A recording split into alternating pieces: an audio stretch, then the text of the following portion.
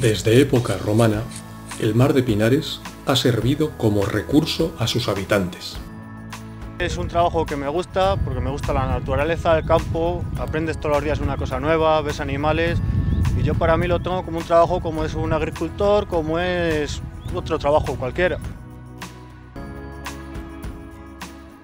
Hombre, te sientes orgulloso, estás a gusto y muy orgulloso. Es que son... Yo es que me gusta mucho, yo el campo me gusta mucho. Y al, chico mío también le gusta mucho. Venimos al Pinar y estás tan, tan a gusto. Y es que echas un montón de horas y no, no te cansas, vamos.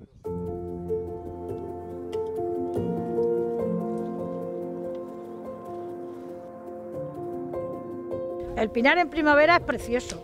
Ves 20.000 clases de flores en 15 días, un mes, ves que se van abriendo de, semana que vas a este pinar a otra semana, ves que las has dejado cerradas y vuelves y están todas abiertas, todas. Si quieres hay más vida que, que en cualquier capital, desde luego.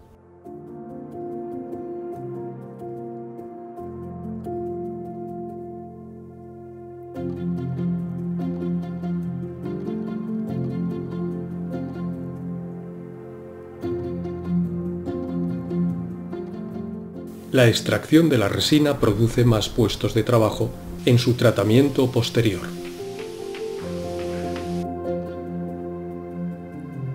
La resina genera puestos de trabajo dentro de lo que es eh, nuestra tierra de pinares, favoreciendo el empleo y fijando población, que a día de hoy pues es, muy necesario, y aparte nos ayuda a defender lo que es eh, los pinares contra la lucha contra incendios, su protección y favorece la limpieza de los mismos.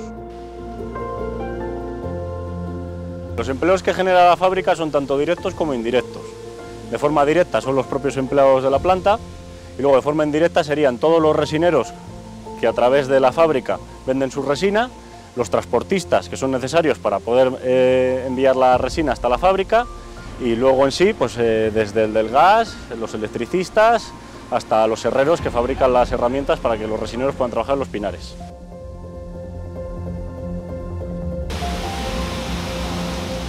La resina española, como la recogida y procesada en tierra de pinares, está considerada de las mejores del mundo.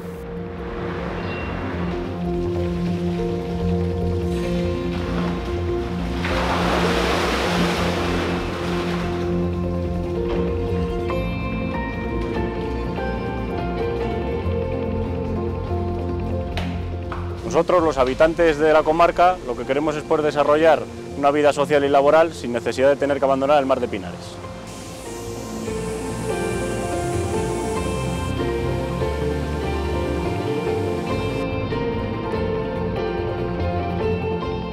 Además de la resina, el bosque aporta la biomasa de los árboles como recurso energético no solo Naturpellet, sino las dos empresas del grupo, como cualquier industria que se instala en el, medio rural, el hecho de dar trabajo a más de 150 familias hace que la zona se enriquezca mucho, porque son 150 familias de la zona.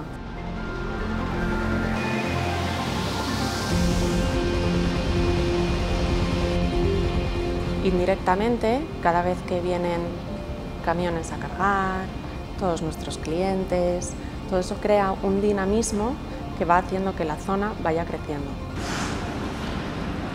Un ingeniero nos marca los pinos que se pueden cortar para asegurar la supervivencia del pinar. Entonces, cuando salen muchos pinos y no pueden sobrevivir todos, pues nos marca algunos para que los que se quedan puedan crecer fuertes. Cuando hay algún pino que bueno, pues ya le queda poco de vida porque está un poco enfermito porque tiene muchos años, ese es el que nos marca.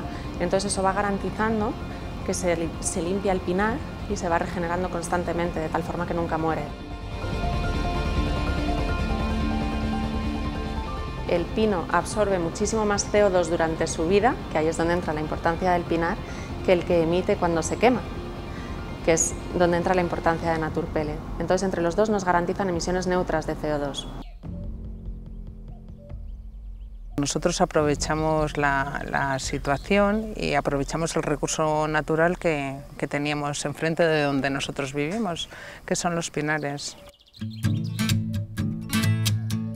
El ocio de naturaleza tiene un recurso inmenso en el mar de Pinares.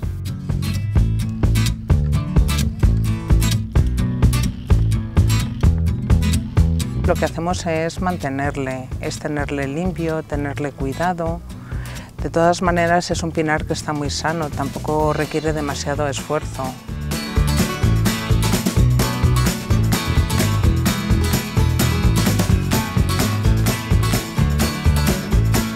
El visitante que viene no solamente viene aquí a Pinocio, también se queda en una casa, va a una tiendecita a comprar, eh, necesita monitores, que también es un recurso humano que nosotros tenemos en la zona para poder darles trabajo.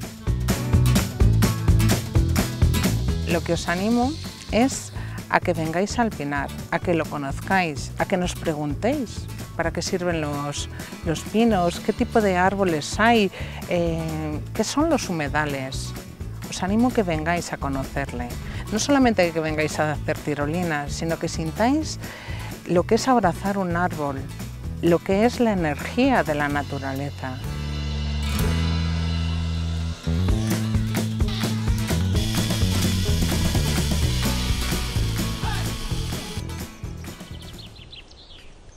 El mar de Pinares está habitado desde hace 3.000 años. Estamos investigando culturas que vienen desde el Neolítico hasta época visigoda ¿no? y hemos visto cómo van modificando sus costumbres, su forma de entender eh, su cultura y sobre todo su forma de entender el paisaje del territorio que en este caso, como bien sabéis, es evidentemente pinariego ¿no? y montaraz.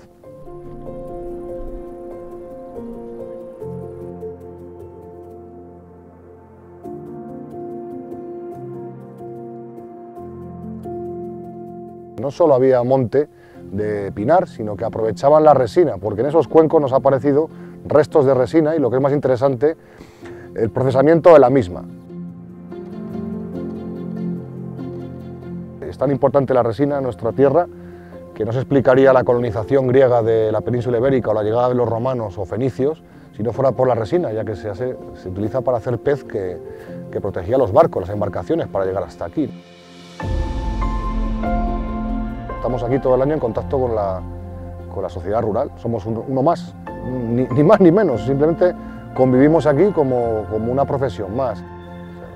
Nosotros damos la, damos la oportunidad de, de que cualquier vecino de cualquier pueblo del entorno venga a pasar una jornada con nosotros, sea una mañana, una tarde, una hora, dos, y escabe y que sienta en su propia piel lo que implica descubrir por sí mismo su patrimonio.